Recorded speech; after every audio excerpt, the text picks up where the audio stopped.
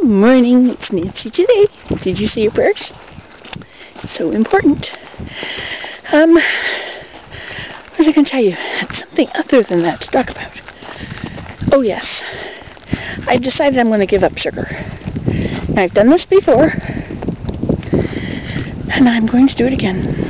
I'm, I'm testing a theory. Someone said that sugar makes your bones hurt, makes your joints hurt, gives you arthritis. Not into having bad knees and hips. I know that if I eat milk products, anything from a cow, my joints hurt, my bones hurt, terrible pain. And if I were to drink milk and then I were to sit and lean against something, the place where I leaned, that muscle would be so sore.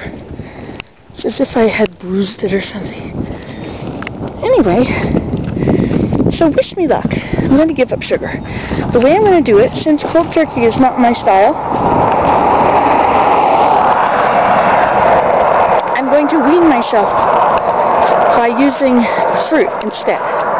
So when I want something sweet, I will have some dried fruit or any kind of fruit. As long as it's not sugar. Nothing from the sugarcane plant. Now, I have not tried this with honey. You see, I need honey for my bad cough sometimes. So it'll be pretty hard to give up sugar and not give up honey. Now, I do have Sweet and Low. I love Sweet and Low. It's my sweet stuff fix, which I could use. But it's best to just, and now aspartame will make you crave sugar. That is not a good one. No. And I don't know about all the other things they said about aspartame, whether those are true or not. I know there was this huge write-up on the internet one day about it, but you know how those email messages are. Just lots of verbatim and not any substance. If ever, every time I get one of those emails, I say, oh no, look at this is a terrible thing that happened, or there's not so many of them going around anymore. Or maybe Gmail sorts them out and doesn't let them through. You see it forwarded, stuff like that a lot. But I fixed that because every time I get one of those, I would go to urban legends. I would Google ur urban legends or one of those words that means those forwarded stories. It might not be true. Forget what those words are now. And and I always found those emails listed among those false things.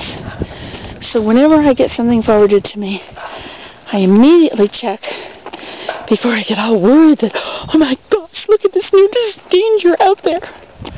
I go to Urban Legends, and sure enough, it's listed there. You can go read them. There's a lot of them listed there. And the aspartame scare is one of them. That's it's been a while since since I saw that one. A few years now. Here it goes. Hats have a lot in common with grass. Grass wants to grow and take over everything. And hats want to fall on the floor. Right. They both have a desire, and they pursue it actively. Look at how the grass is growing. Isn't that pretty? All greening up. This field isn't very greening up yet.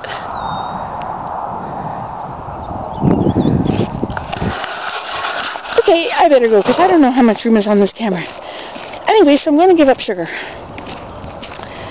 Five days. But I'm going to do one day at a time. So for today, no sugar. And I'll let you know how I did. See you later. Ta-ta.